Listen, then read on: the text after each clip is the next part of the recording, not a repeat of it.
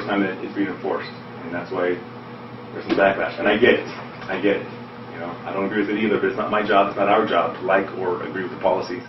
That's an exclusive secret recording. An Albuquerque Fire Department deputy chief goes on to tell firefighters not to let the public or city council know some engines are short-staffed. Action 7 News reporter Regina Reese first broke this story. Today she confronted that deputy chief. She joins us with more on what Victor Padilla had to say. Shelley, the fire department says one less firefighter on the engine came from not being able to pay overtime when people call in sick. But some firefighters had a real problem with how they were told and how they were advised to keep the issue a secret. I was a little concerned because uh, it's getting out to the media or out to the public.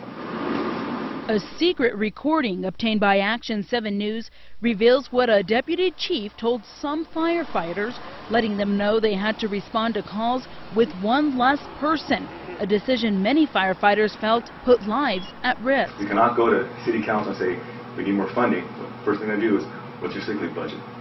Almost $2 million of a budget. Yeah, you want more money? you. That voice, Albuquerque Fire Department Deputy Chief Victor Padilla. He told firefighters the city could cut dozens of jobs if short-staffed engines went public. That's a huge possibility if this gets out.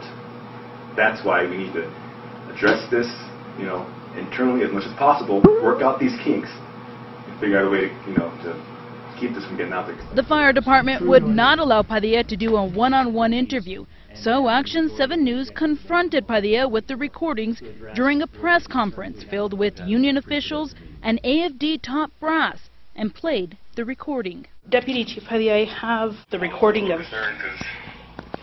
when he told the guys talking about not releasing this to the media. To the media or out to the public. And it's not one of things like, oh, you know, uh, admin's doing something wrong, we don't want anybody to know that. Shh, that's not it. Okay, if this gets out and they start looking at the fact and we start saying, well, look at our manpower problem.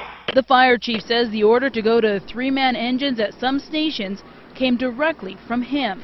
But in the recording, Padilla repeatedly told firefighters he didn't like it. You mentioned that you don't agree with it.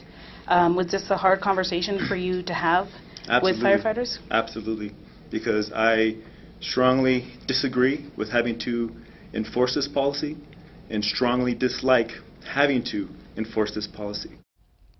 Padilla says the short-staffed engines was reactionary to people calling in sick.